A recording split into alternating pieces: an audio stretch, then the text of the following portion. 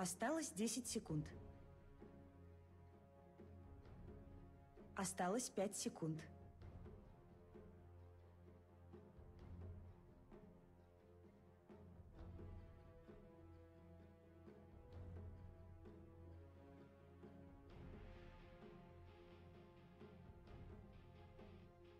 Очередь сил света выбирать героя. Beastmaster.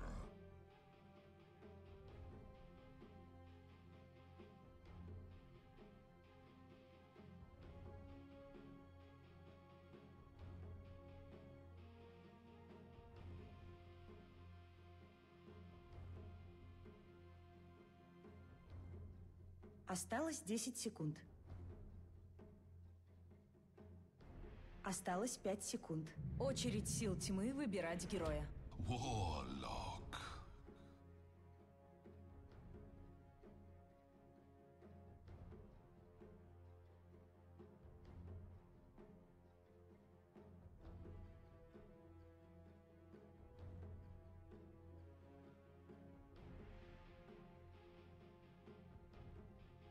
Осталось 10 секунд. Осталось 5 секунд. Очередь сил тьмы запрещать героя.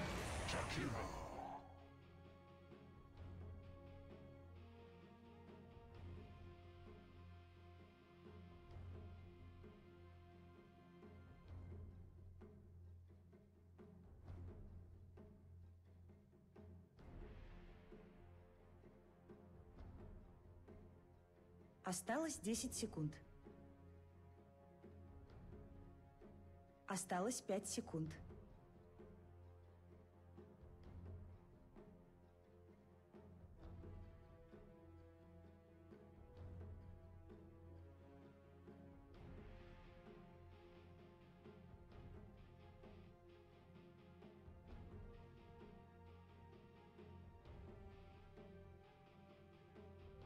Всем доброго времени суток, дамы и господа, и мы начинаем наш сегодняшний день на а, China Supermajor е. И сегодня мы встречаем две другие группы.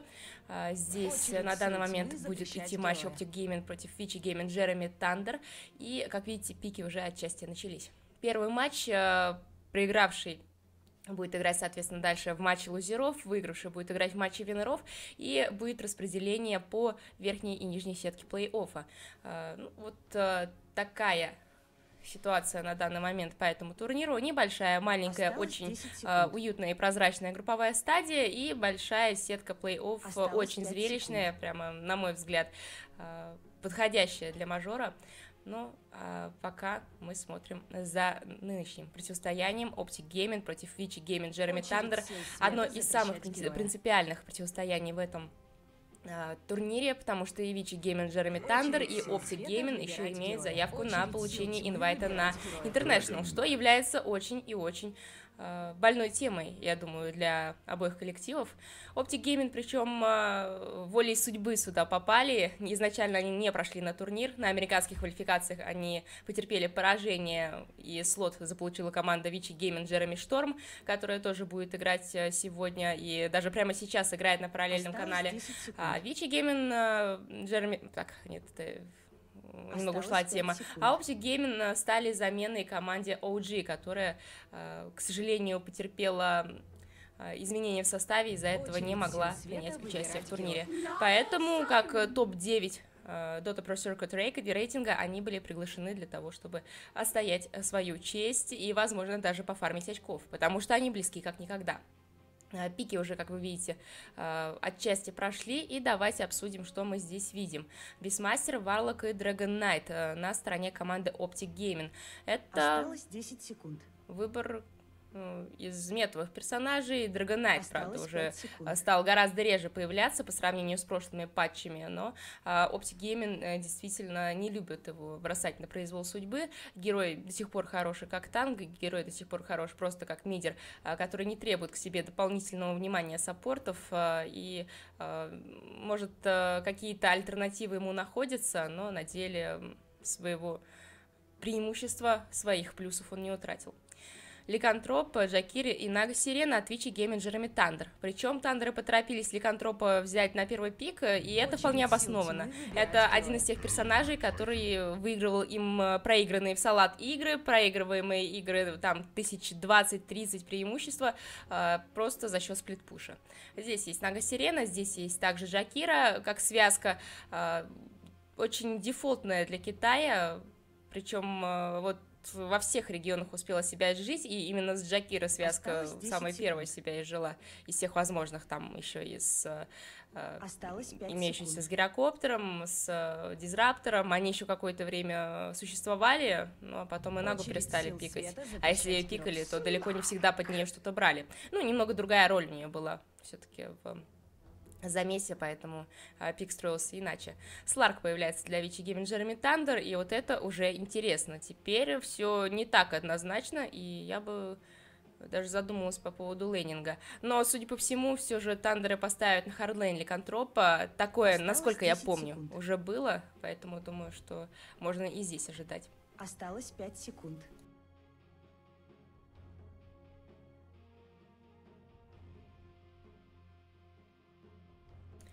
И Элдер Титан со стороны команды Optic Gaming. Тоже персонаж, э, э, часто появляющийся в определенных коллективах. Тандеры тоже любили им разыгрывать, э, но здесь решили от него отказаться.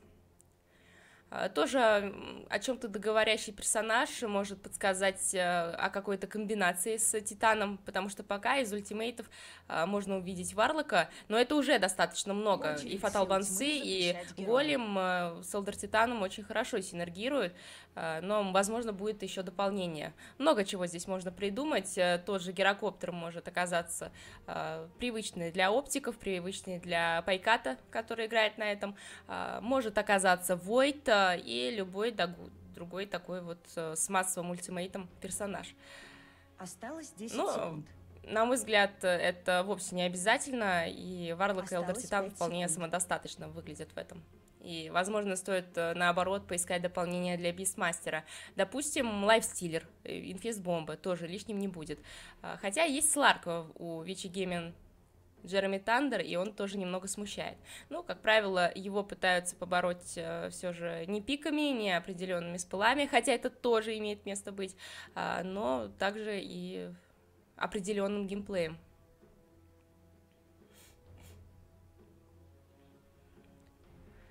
Последним баном заезжает еще и Эмбер Спирит.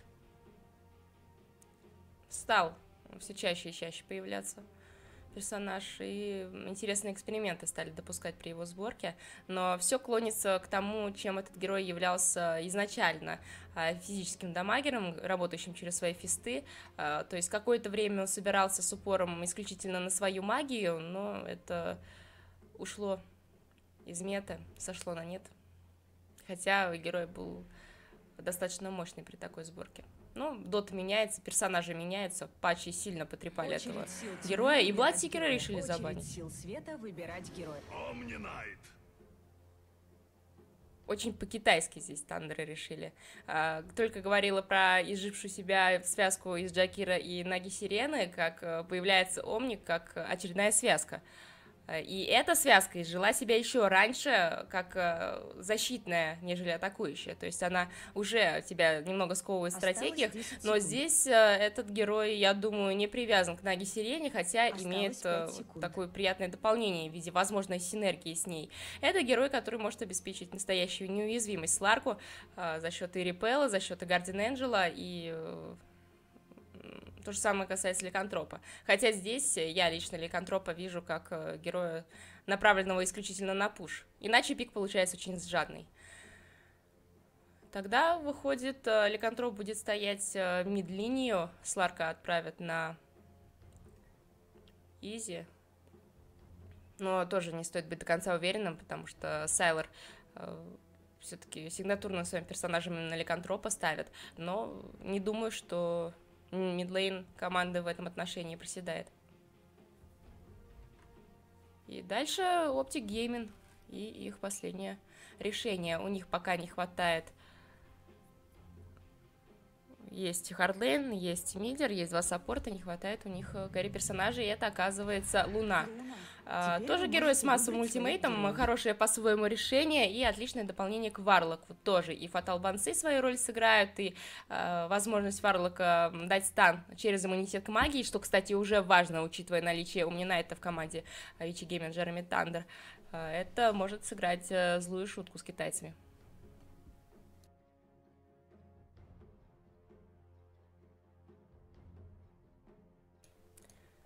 Пики укомплектовались. э, Optic Gaming показали интересное решение, хороший массовый файт.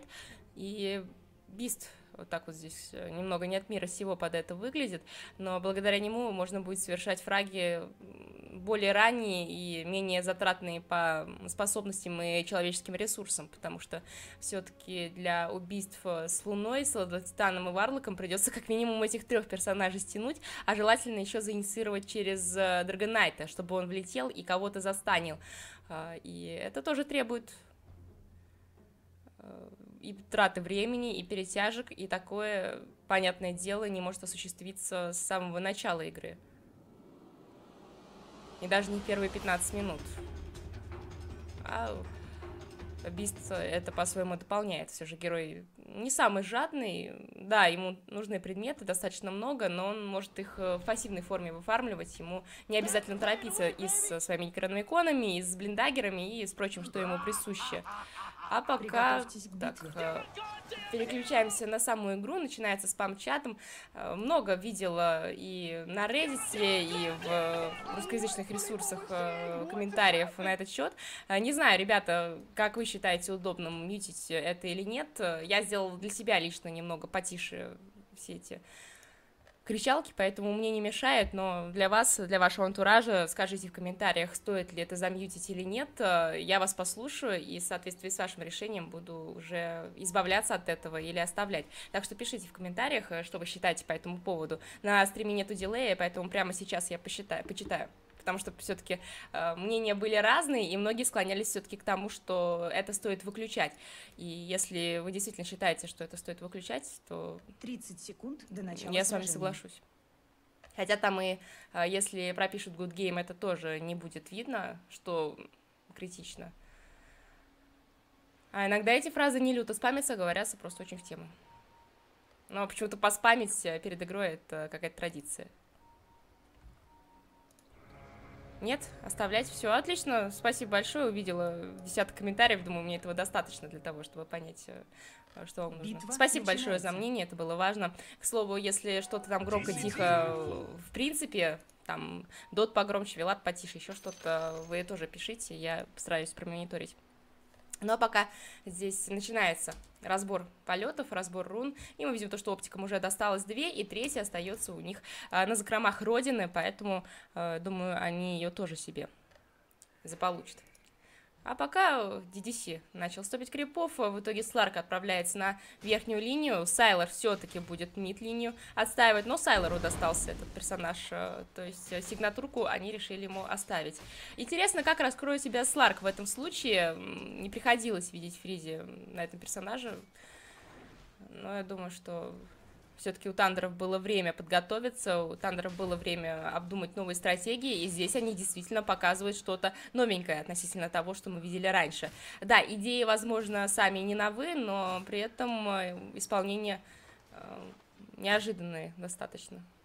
Если смотреть именно на наличие Сларка. Остальное все это как-то по дефолтнее. А вот Сларк, он может быть действительно здесь камнем преткновения. Но пока он стоит, крипов добивать у него получается, несмотря на лютый спам со стороны Бестмастера. Э, Здесь э, трудности будут, но пережить их возможно. Пайкат э, тоже имеет линию достаточно комфортную за счет того, что против него два милишника, но милишника достаточно противных. И в свое время они еще начнут спамить, пока еще это время не пришло. Сайлор. Сайлор на миде против CCNC. А, Не самый удачный лайнап, будет терять дэмэдж, будет терять э, хитпоинты, нуждается в регене, но это не смертельно. Все-таки это два персонажа, которые будут э, стоять и AFK фармить друг против друга, и вряд ли без помощи саппортов э, смогут э, разобраться. И там сделать first blood, еще что-то. Ну, огрызаться, ясное дело, будут э, размениваться ударами, но это мелочи жизни. Пока действительно первое место по last hit'ам занимает Ликантроп, а на втором держится CCNC, ну, уже на третьем держится CCNC. Пока это выговариваешь, уже и изменения происходят. А, в любом случае, это говорит именно о спокойствии, пассивности и АФК-фарме. Это, в этом нуждается и Драгонайт, и Ликантроп, поэтому думаю, что здесь никто не будет форсировать события и пытаться в нападение поиграть. Тем более, что все-таки саппорты здесь э, будут необходимы, но стоит отойти от Сларка DDC, как у Сларка начнутся проблемы. То же самое касается и Луны, и э, я думаю, все-таки и 33-го. То есть э, ход саппорта может много означать, а тут у Фейда проблемы, а Фейду-то отпустили, Фейд живой, уходит отсюда, а Янга здесь уже принять не получится. Purification у него будет через 2 секунды, он восстановит себе еще ХП, и это не будет возможно его забрать. Фейд пытается остановить оппонентов, и все, все разбежались. За двумя зайцами погнались оптики, и не догнали ни одного. Причем даже близки не были. Хотя вот в случае с э, Нага Сиреной обидно было упустить такой фраг. Верхнюю башню Здесь все атакуют. так и остается. В полном спокойствии. А, получает опять Сларк порцию.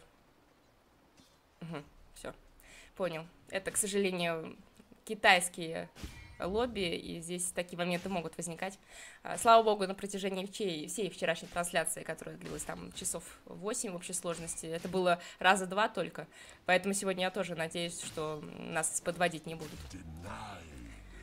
Фризи. Третий уровень э, пытается саппорт его в соло оставлять экспица уже на отводах. Это необходимо сейчас для Сларка. Шальное нападение имеет место быть. Э, даже вдвоем по неаккуратности э, Сларка могут поймать и эти два персонажа, которые есть против него на линии, и наличие повышенного уровня Dark Pact'а или просто Shadow Dance здесь необходимо. И тут есть нападение на 33-го, но это тоже просто, чтобы его напугать. Слишком много крипов под tower'ом, и не получается здесь э, на него переагрить строение. Нага Сирена второго уровня здесь э, тоже пытается воровать экспириенс. Не рискует подходить к Пайкату, к Заю можно очень больно от них получить, э, тем более, что помимо мувспида шансов уйти у Наги Сирены других нету. Хотя мувспид у нее неплохой, особенно с тапком. 10 топоров получил. 33 очень хорошо этими топорами контролит, э, по максимуму дэмэджа выдает. А тут начинается уже настоящий бой. Ну, пяти большие проблемы, он погибает, это первая кровь для DC. Не выдержал натиска и так вот немного подбайтили. Все-таки э, агрессия началась с руки именно оптиков. И нападение было уже в целях защиты. А тут Зая э, немного прижали, но он решил сделать тэп сразу, от греха подальше. Не твое. А здесь Сайлор продолжает фармить, 34 крипа имеет, уже 35. Оторвался немного от CNC, и тут уже и Пресфайр не помогает, тут уже э, и демеджа с руки достаточно, чтобы бороться с таким. И тут уже и Доминатор есть первым слотом. Э, решил не мелочиться, сразу вперед всего собирать первым слотом, без тапка, без прочего. Э, и учитывая его АФК фарм, это логично. И пятая минута она заставляет только восторгаться таким таймингом. И, видимо, нападение на CCNC будет, как раз есть шейпшифт, и в Муспиде теперь уже точно никаких проблем нету, DDC нападает, и есть сетка, и теперь уже точно подзадут на него замедлением, и никакой реген может и не помочь. Есть криты, и на этом все и заканчивается. Это минус. Фейт.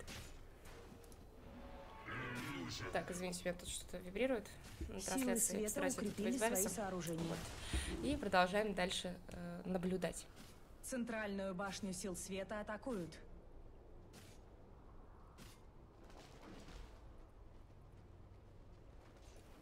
Извините за периодические паузы.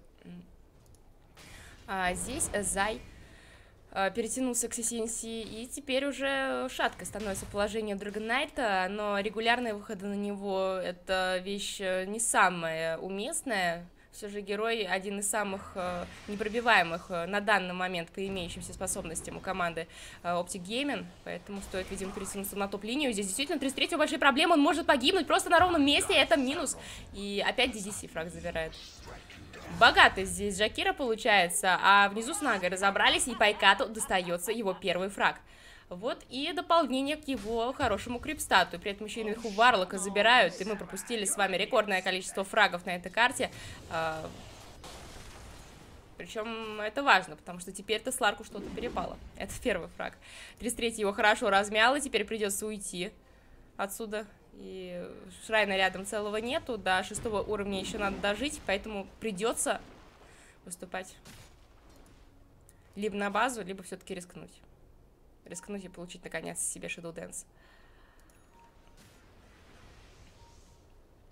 Видимо, на отводах хочет это сделать.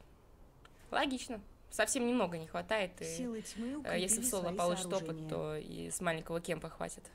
По идее.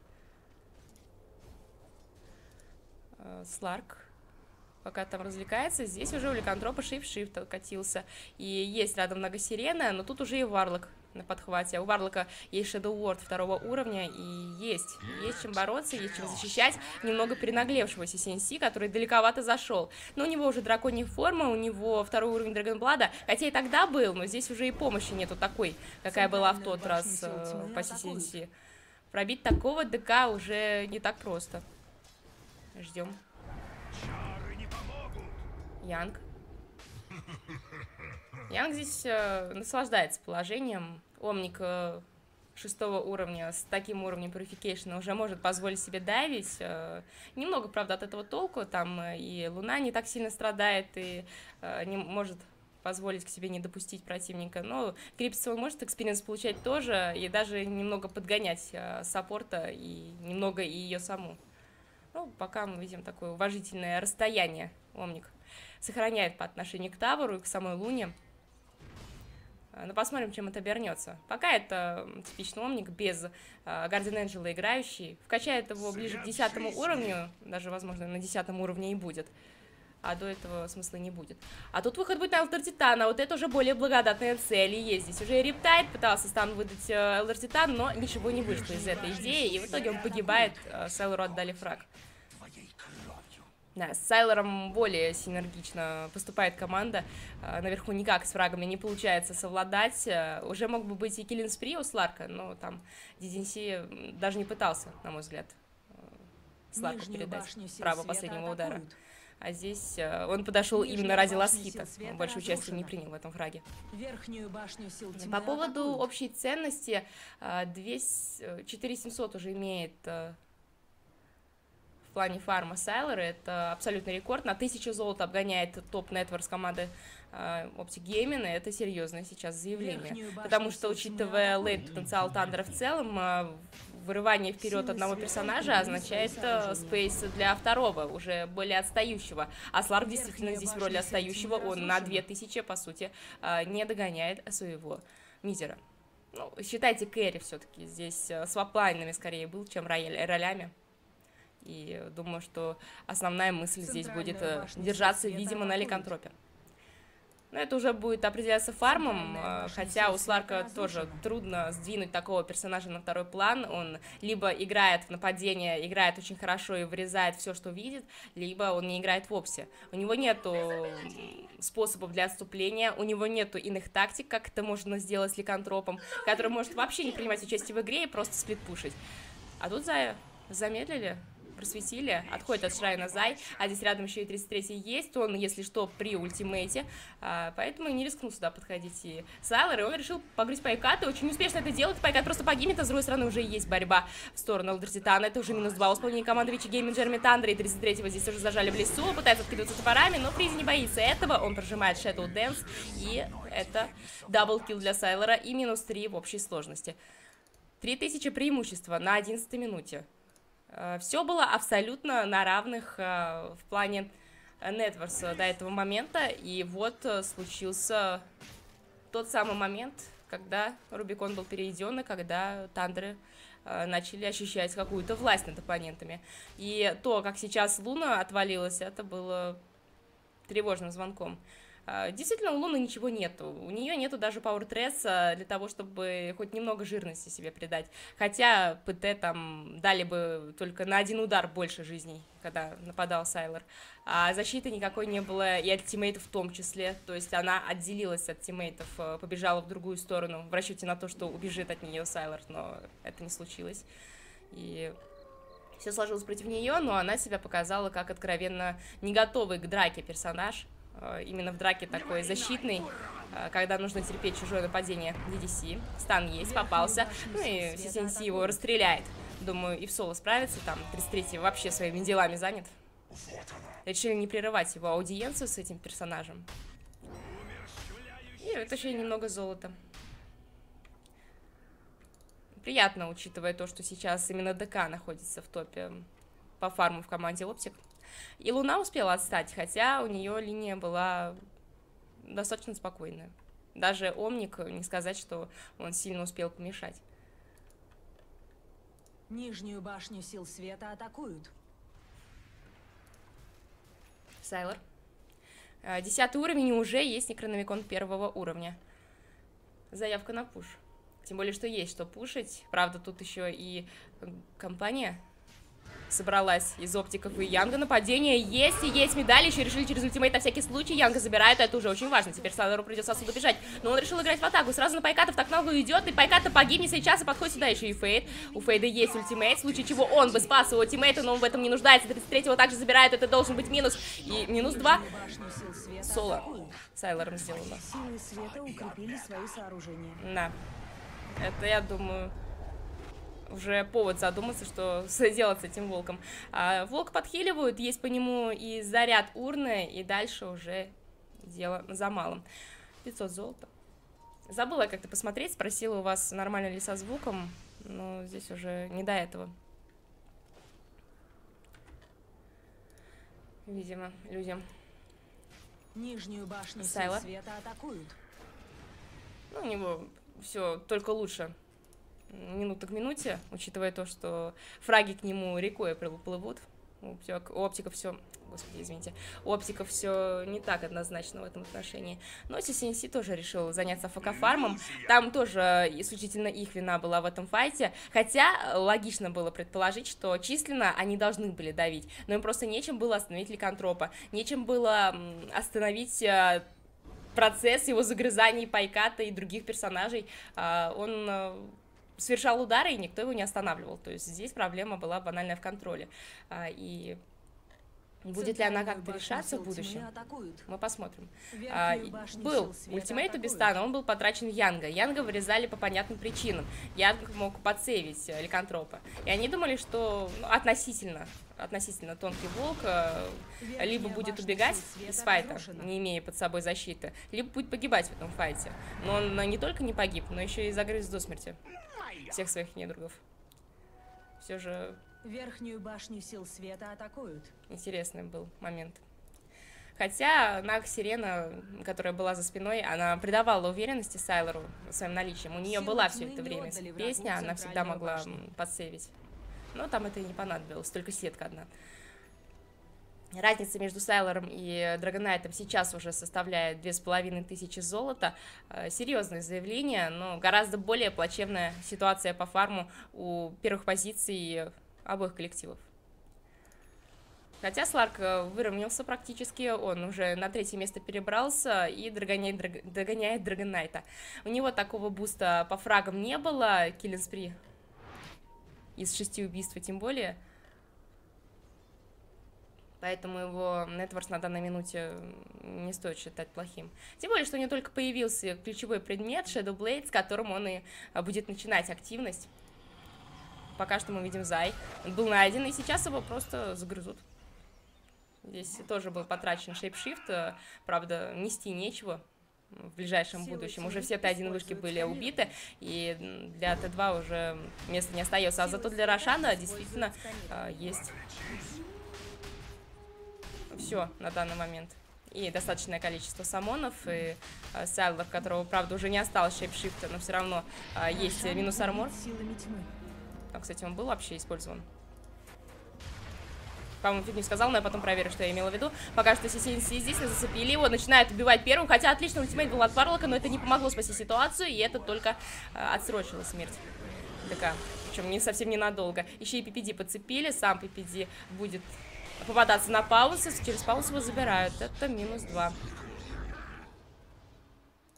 Там просто... По-моему, да, я фигню сказала, медалька была только у Биста на всей карте. И, э, я не знаю, к чему я это сказала про Рошана. Всякое бывает.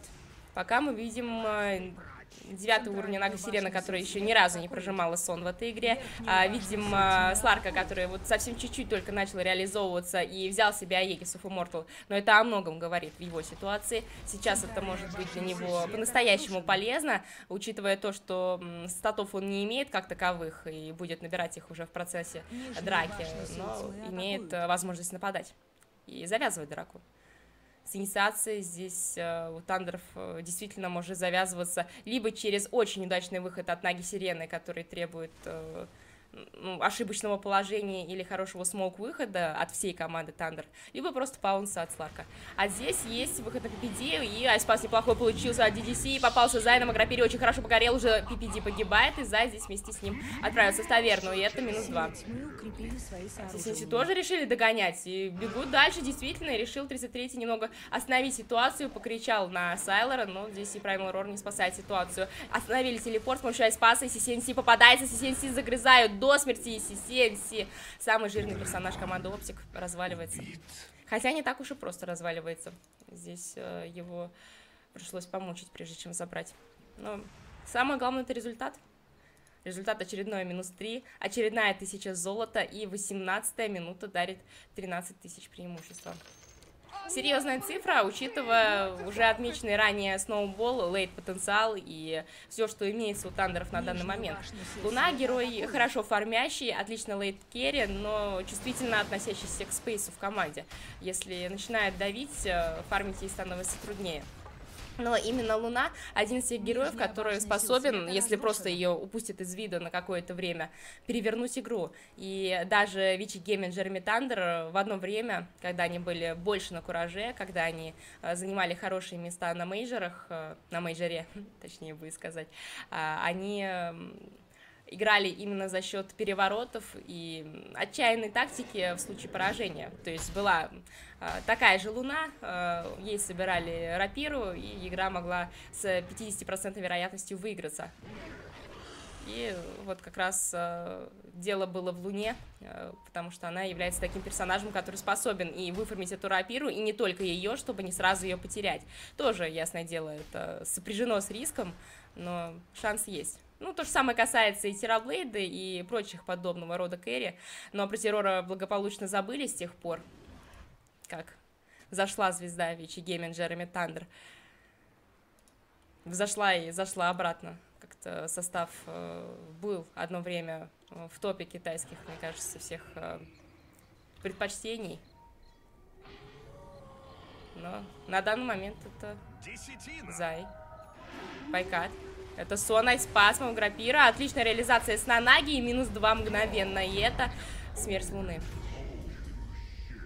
шанс забраться на high ground. Их ничего не останавливает. Сейчас отпушивается э, линия наверху Freeze, остальные все заходят э, по двум другим сторонам. Хотя нет, топ забросили, на топе отпушивает пока команда OpTic, но по миду все абсолютно благополучно можно решить. 26 секунд еще не будет пайката, но не рискует э, соваться на high ground при живой внешней вышке Thunder'ы. Пока забирается вверх. Дальше уже будет поздно. Видимо, после этого отойдут. А, заканчивается Аегис а, потихоньку. 40 секунд осталось, и, видимо, он будет без реализации. Без даже попытки реализации. 33 Поймали его на паунс, и он просто делает телепорт, а успеет ли? Должен успевать, но, к сожалению, миллисекунды ему не хватило, и Фризи делает мега киллстрик. Джакира 14 уровня. Да, здесь а, мы видели первый, по-моему, сон. Могу ошибаться, но вроде он был первый в этой игре. И именно дефолтная стратегия нападения через сон и Маграпиру все силилось под это дело, и поэтому очень урона много было нанесено именно этим персонажам. Хотя по файтрикапу мы этого не посмотрели. Есть опять айспас по двоим, шикарно получилось от DDC, и здесь опять будет погибать Пайкат. Есть, правда, здесь голем, пытается отзонить немного оппонентов, и Пайкат пока что еще живет, у него есть шанс отойти, но слишком много хп он теряет на Макропире, а опять айспаса он просто отваливается от DDC. Заслуженный даблкил для него, вот теперь интересно посмотреть, сколько он урона влил, и это 2000, исключительно от него.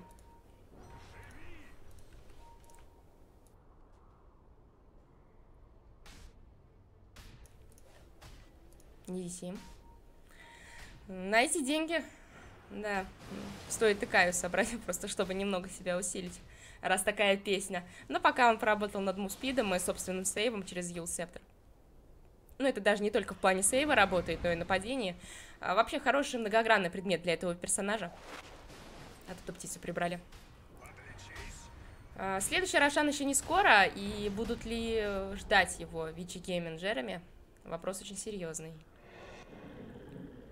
Э, впереди только Москва, наступать больше некуда. И ждать э, Нара Кури Тандером. С другой стороны, риск э, может быть не оправдан. Они, несмотря на свою силу в нападении, могут быть э, уязвимы на хайграунде. Хотя нету голема, у них есть информация об этом. Нету эрсплиттера, они тоже об этом знают. И это достаточно, мне кажется, весомо для того, чтобы заходить на хайграунд. И появляется Кераса. Вот еще усиление пуша, усиление команды против э, потенциального нападения Луны и Драгонайта, которые работают, по идее, через физику, но пока все же, я думаю, Луна больше на магию свою опирается. Но красочных эклипсов от нее тоже не приходилось видеть. Фризи пытался Синси зацепить, но он уже делает телепорт, и Сларк к таким вещам очень чувствительный, но еще и застрял. Скоро выберется. 15 уровень, Жакира жив-здоров. Пайката грызут, как же больно Пайкату! Вот ему повезло. Хотя там криты выпадали регулярно. Достаточно регулярно, чтобы отвалиться. Но здесь время сыграло ему на руку. Луны, все, что появилось за 23 минуты фарма, это Mask of Madness а, и Dragonlance. И было бы это не так плохо для ее тайминга, если бы не то, что имеется противовес сейчас у Кэрри э, команды Тандеров. Ну, Кэрри здесь, конечно, упоминать тоже э, не так с руки, как э, Низера сейчас Сайлора, но тоже, если условно сейчас считать мидером этого персонажа. Freeze. Нападение. Pounce есть. У Freeze небольшие проблемы, но тут э, подходит Нага Сирена, и можно раскастоваться, и Джакира тоже. И есть по четырем персонажам. Ну ладно, по троим в итоге получилось, все же мгновенно забирают двух из них. И CNC тоже оказывается в эпицентре fight'а, его забирают также без проблем. И 33-й тоже а, пытается выбраться отсюда, прожимает shrine'а, на него перетягивается только Yang, ddc. Остальные все гонятся за Заем, но это good game, well played. И Vici Gaming J Thunder без проблем забирает первую карту. Здесь, видимо, да, была драматическая пауза перед падением трона и э, заслуженная победа, отличное исполнение от Тандеров на протяжении всей игры задавили с самого начала. И, казалось бы, преимущество Сайлора в самом начале было на десяток крипов, не более того. Но э, хорошая помощь саппортов э, и наглые выходы от него самого, и наглый геймплей э, на всей карте обеспечил ему очень хороший буст э, и э, streak Beyond Godlike, как вы видите, с нулем смертей закончил Sylar эту игру. На своем сигнатурном персонаже в этот раз он показал э, идеальную игру, Хотя Jakiro здесь даже больше урона успел нанести. Немного, но все же стоит это подметить. А, и красочная игра. Рада, что именно с таких матчей начинается сегодня.